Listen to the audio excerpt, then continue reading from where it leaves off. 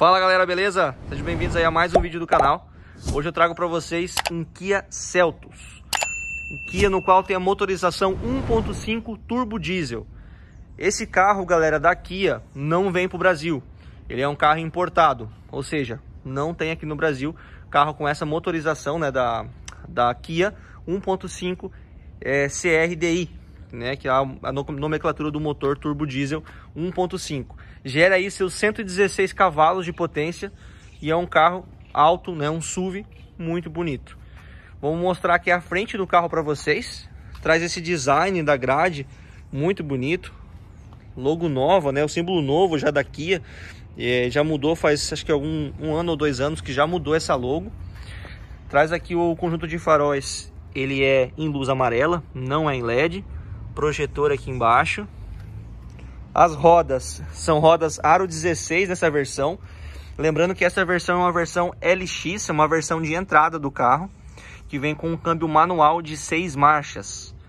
205 6516, rodas com design muito bonito. A calotinha ali, né, preta com a logo nova da Kia. Ó, a lateral do carro. Temos repetidor de seta aqui no, no, no espelho do carro.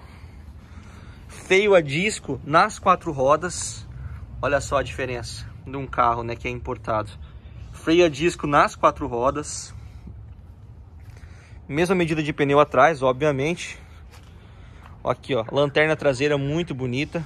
Tudo assim, galera, não, não tem LED, né? A princípio, depois eu vou acender ali o, o conjunto de faróis para vocês darem uma olhada. Aqui o extrator traseiro, muito bonito. Ele já conta nessa versão, desde a entrada, com um sensor de estacionamento. Ele não veio com câmera de ré. Essa versão não veio com câmera de ré. Kia Celtos tem ali o nome do carro. Dá mais uma volta. Aqui a nomenclatura CRDI, né? Que é para o que indica, né? Que o carro ali é um turbo diesel. Dá mais uma volta para vocês aqui. Olha só. O carro realmente, ele é muito bonito. Ele tem uma imponência assim, ele é grande. Realmente muito legal. Vamos aqui abrir o porta-malas. Você consegue acionar ele aqui pela chave. Tem que segurar.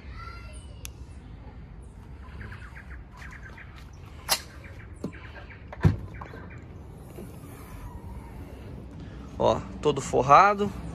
Porta-malas bem acabado. Tem aqui uma empunhadura para você puxar com as mãos. Aqui, ó. Espaço do porta-malas consideravelmente grande. Muito bom.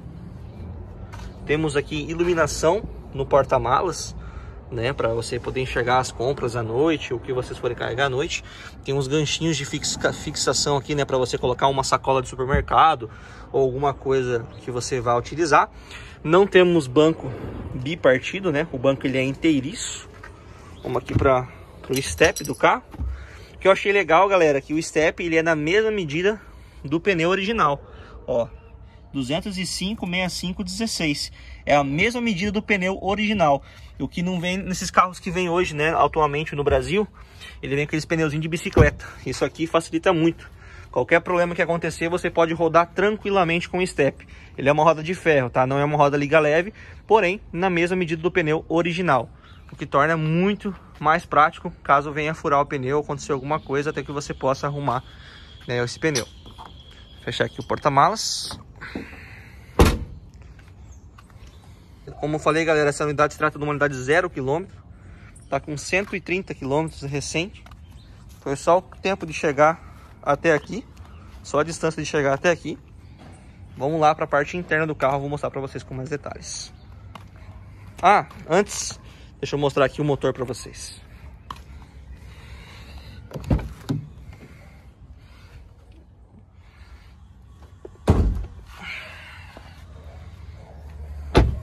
Um minutinho que eu vou abrir para vocês aqui, galera. Temos aqui então acesso ao cofre do carro. Aqui para água para colocar esguicho para limpar vidro, reservatório com fluido bonitinho, capa do motor, CRDI, novamente motor 1.5 turbo diesel, gera seus 16, 116 cavalos de potência, bateria, tudo aqui ó, bonitinho, tudo zero quilômetro do jeito que a gente gosta, galera. Isso aí, ó. Esse é o cofre do carro para vocês, ó. Ó que legal. Conta com uma manta acústica. de boa qualidade para isolar o ruído, carro muito silencioso, por se tratar de um carro diesel, né? Tem aquele grilado carro diesel, então a manta acústica é indispensável, né? Tem que realmente ter essa manta acústica. Bora lá para frente, do, lá para o interior do carro que eu vou mostrar para vocês com mais detalhes. Bom, galera, aqui do interior do carro temos um volante muito bonito, emborrachado, ele não tem ali costura em couro. Por se tratar de um carro de entrada, então também não conta com a multimídia. Só vou ligar o carro, galera, porque tá bem calor hoje. Estamos aqui no sol gravando esse vídeo para vocês. Ó, carro em funcionamento. Como eu falei para vocês, ó, essa unidade está com 134 km, está zero.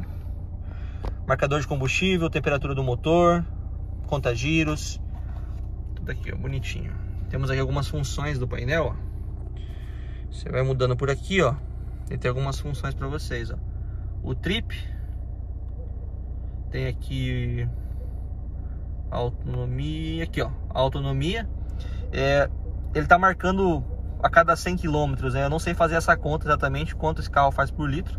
Eu não vou saber dizer, mas deve ser um carro econômico, né? Tratando-se de 1.5 turbo diesel, deve ser um carro bem econômico. Deixa eu ver se tem mais alguma função.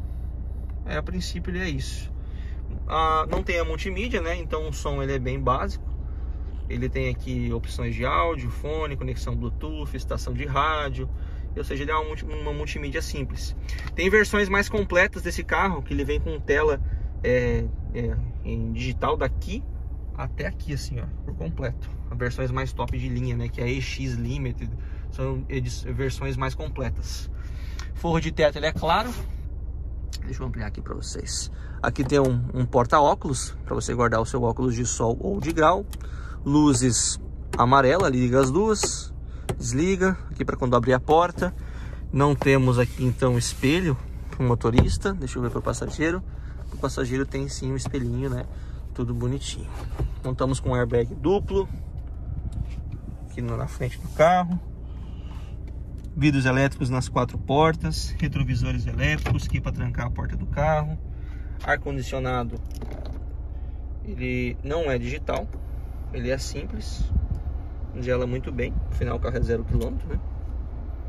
Temos aqui então ó, uma tomada 12 volts, uma portinha USB, poderia ter uma portinha USB tipo C, mas não temos nessa versão. Pisca alerta.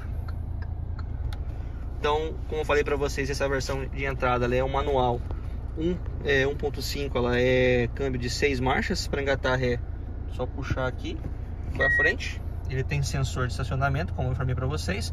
Ah, ele também marca a autonomia do tanque, né? Então é um câmbio de 6 velocidades. Tem dois portas-copos aqui, né? Tem aqui o apoio de braço, você guardar objetos. Ele é forradinho, o que evita barulhos. O banco, galera, muito confortável, um banco de tecido, mas bem confortável, abraça bem. Temos alça PQP para todos os ocupantes. Luz interna aqui atrás, para quem vai atrás. Banco também muito confortável. Espaço interno atrás muito bom. Galera, carro muito bacana. Uma pena não ter esse carro aqui no Brasil com essa motorização 1.5 turbo diesel. Kia Celtos. Galera, ele é um SUV. Vamos concorrer com o que aí? Com a T-Cross?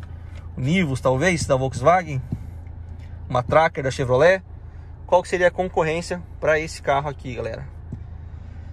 Um carrinho muito honesto, direção elétrica muito confortável. Esses apliques aqui em aço escovado tornam o carro mais requintado, muito bonito. E o motor silencioso, ó. Por ser turbo diesel, né? 1.5, motor bem silencioso. Galera, então é isso. Peço que você se inscreva no canal, Deixa seu like, compartilhe esse vídeo, deixa nos comentários alguma dúvida que vocês tiveram aí. E é isso, até o próximo vídeo. Valeu, galera, um abraço, falou!